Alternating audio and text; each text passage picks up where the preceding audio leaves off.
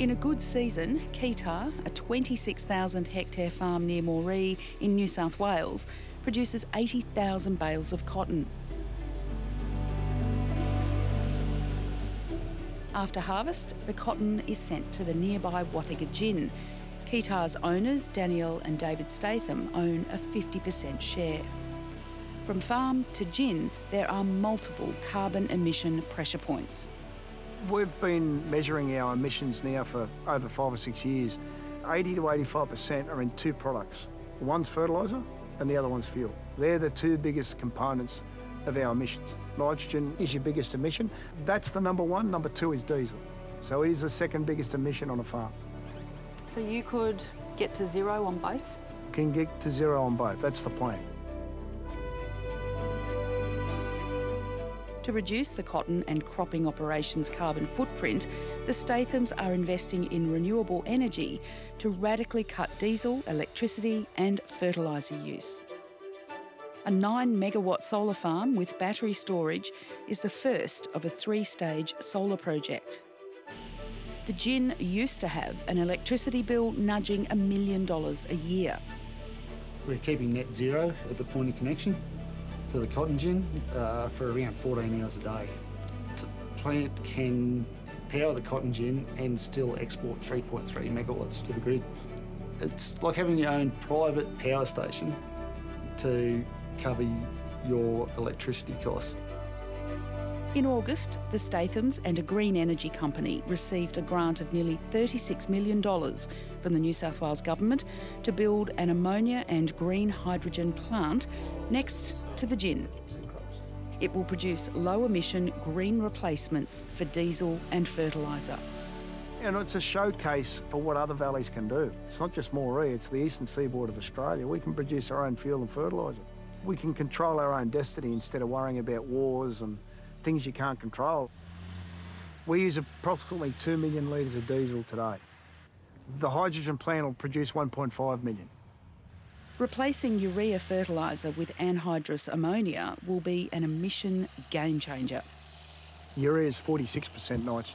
Anhydrous ammonia is 82% nitrogen. Urea is granular and it's a solid. It's a byproduct of petroleum.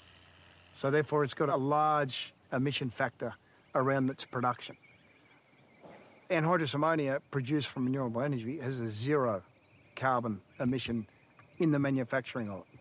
Every farmer's dream not having a fertiliser bill. 100%. My biggest dream. Uh, so David's confident the factory will open by June 2025. It won't make Keytah carbon positive because the Stathams claim it already is. David says using regenerative farming practices to preserve soil moisture has increased carbon levels. Carbon's money now. Carbon's money. You can say that again. For 20 years, soil tests were done in every field every second year. While early reports provided soil carbon numbers, little attention was paid. Now customers are demanding that sort of data and they have it. And carbon is now top of mind? 100% top of mind. The uh, European Union are leading it, and we're getting customers from all around the world wanting to come to farm, understanding what we do, and pull those carbon credits that we create on this farm uh, through the supply chain and into their balance sheet. You're not going to sell them? Not selling them, no. Transfer insetting is where is the direction I'm heading. Insetting is where farmers keep credits for the additional carbon they build and use it to offset their emissions. A lot of biomass going back into the soil. But you need proof to trade in the climate smart economy, and that has to come from independent certifiers. The Stathams use a UK satellite carbon measuring company and a Brisbane advisory and verification business. So, will the soil testing and the satellite pictures help you prove to your customers that you're not greenwashing, you're not mucking about? 100%. Like, I'm, I haven't done this for, for money. I've done it because I'm interested in the soil. I want to do things well. Um, and the people that come here, they want rigour. They want rigour around the numbers. And that's one thing that we've got. We've got every record of every single pass, every single, single operation, every single input that's gone into every field for the last 20 years. So if they want data, you can show it to them? Oh, exactly right. Being carbon positive is just part of the Statham's new approach. They've branded their cotton and can track it anywhere in the world after it leaves the gin. They say it's the world's only climate positive traceable cotton. We're going through from a really nice knit from Portugal to a woven. For Danielle, a former fashion designer, it all started with a question in a paddock. And into a cord. I couldn't understand why I couldn't use that cotton in my own garments. The reason was once their cotton left the country, the Stathams lost track of it. Most cottons from different regions have different quality parameters and then they're blended at spinning mills, and that's where you lose visibility of what happens. Danielle found Paul Stenning, the inventor of identification technology used in paper for banknotes and passports. He just happened to be working on tracking cotton. I still remember the day I went into David in the office and I said, I found something and I have to go to Germany and I have to go and see this guy.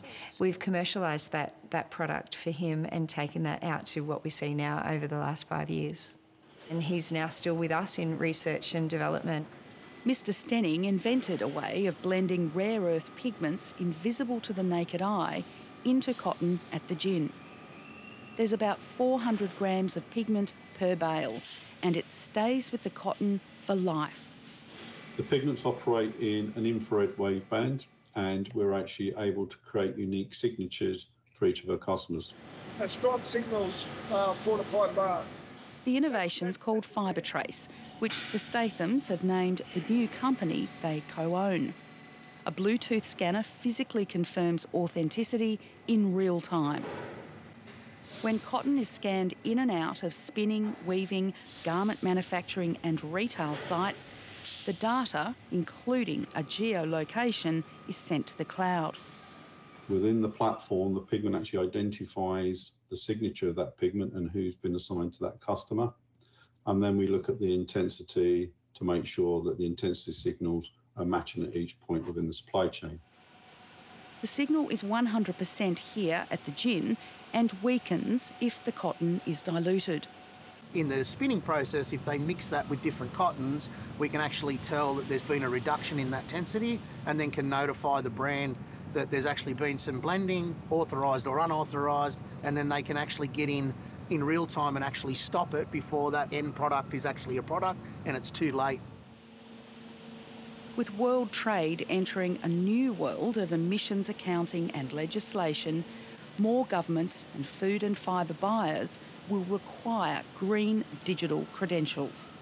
So literally this now has a passport just like I've got a passport. This has a passport just like you've got a passport, and every stage that this bale moves through, we will know in real time where this product is. If you're not doing this in the future, you won't attract a premium or maintain the premium that Australian growers get. We have Rodd and Gunn coming on board, Anaconda taking shape, and then there's a lot of other brands that are that are in the pipeline. The Stathams say they're paid a premium because global brands have made sustainable sourcing pledges, and there's not much verified sustainable cotton around. We're seeing from twenty to sixty dollars a bale in that range, subject to supply and demand. Extra. Yeah. The Maggie Marilyn brand, that Oh, was right. Australian Fashion Week. In 2018, the couple sold 2,000 bales of Good Earth cotton. This year, they'll sell 80,000, and four growers have joined as suppliers. We've repurposed the buildings, so Being able to supply at scale has put the brand on the fashion industry's radar. come through, Pip.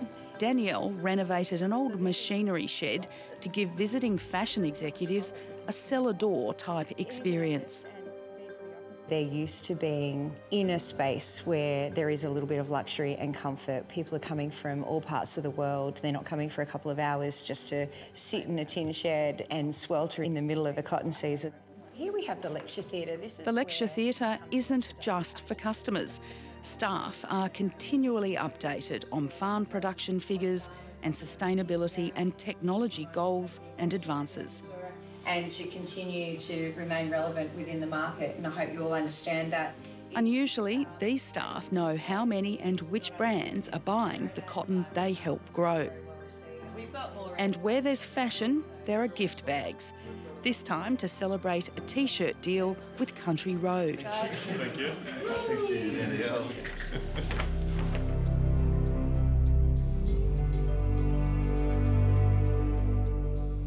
Danielle's expertise is in fashion, marketing, and cotton, and David's is technology, data, and cotton. As a team, they say they're ready as climate makes agriculture more challenging. This is 100% coming at us like a bullet, and it's not going away. You know, the, the climate change debate around the world, and, and we're sitting in the box seat to do something about it. I think we're foolish to think that agriculture and commodity trading is not going to be disrupted when everything else has been disrupted.